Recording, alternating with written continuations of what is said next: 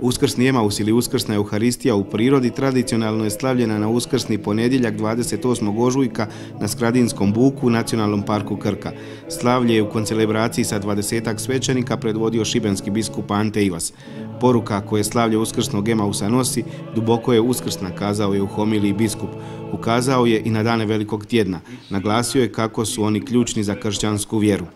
Posebnost uskrsnog Emausa na Skradinskom buku duhovna je dimenzija samog okupljanja. E, uskrsni ponedeljak se sastoji toga od jednog zanimljivog čitanja kada dvojica učenika putuju u jedno selo blizu Jeruzalema koje se zove Emaus i oni su na početku dok razgovaraju razočarani jer njihov učitelj u koga su se oni nadali završio na križu.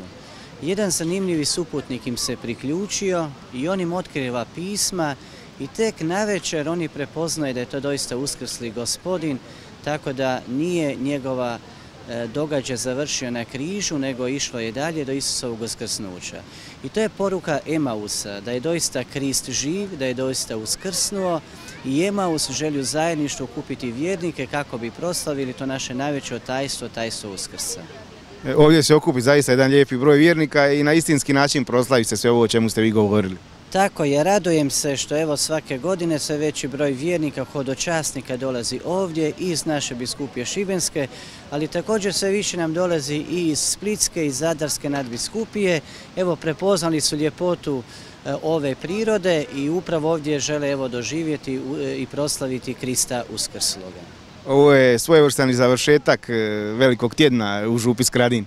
Tako je, završetak je velikoga tjedna, ali napominjem da je uskrs početak. Veliki tjedan je završio, ali evo započinje uskrsna radost i neka nas doista ta uskrsna radost i poruke evo nosi kroz liturgijsku godinu koja je pred nama. Okupljanje na uskrsni ponedjeljak na Skradinskom buku započela su skromno prije 15 godina kada se mali broj entuzijasta, vjernika grada Skradina, po prvi puta okupio. Zahvaljujući nekadašnjem župniku Skradina Donanti Lovriću Caparinu, ova manifestacija prešla je lokalne granice te je prepoznatljiva po kruhu koji se na kraju slavlja, blagoslivlja i dijeli vjernicima.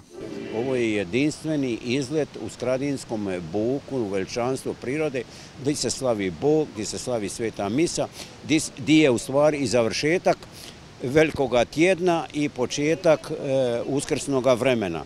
I ljudi kao ljudi, evo i danas je malo kišovito i ovo i ono sa svih strana su došli na izlet, pričestit će se e, i sudjelovat će na svetom misu i došli smo do tih nekih ideja gdje se samo na kraju na kraju imamo i e, pojedini pekari nam daju e, velike kruh, taj se kruh blagoslovi i biskup i sa svećenicima podijelu taj kruh zajedno sa jajima kao znak zajedništva, zajedništva u, u, Kristu, zajedništva da se slavi gospodin Bog. Eto.